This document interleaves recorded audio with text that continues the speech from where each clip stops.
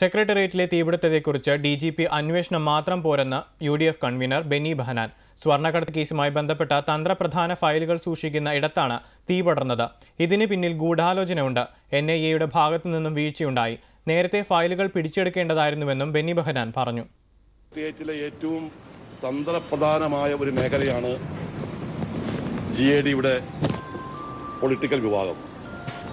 അവിടെയാണ് ഇന്നലെ തീപിടുത്തമുണ്ടായത്. ഈ തീപിടുത്തം ഒരു ഗൂഢാലോചനയുടെ ഫലമാണ് എന്ന് ഞങ്ങൾ പൂർണമായും വിശ്വസിക്കുന്നു. ശ്രീ ജയരാജൻ ഇന്നലെ സൂചിപ്പിച്ചത് ഇതൊരു അട്ടിമറി ശ്രമമാണെന്നാണ്. ആദ്യം ഇതിനെക്കുറിച്ച് പ്രാഥമിക അന്വേഷണം നടത്തിയ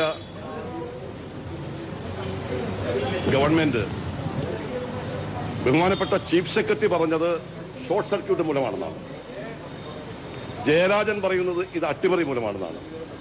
അപ്പൊ ഷോർട്ട് സർക്യൂട്ട് മൂലമാണ് ഇത് നടന്നത് എന്ന ചീഫ് സെക്രട്ടറിയുടെ വാദം ജയരാജൻ തന്നെ ഇല്ലാതാക്കിയിരിക്കുകയാണ്.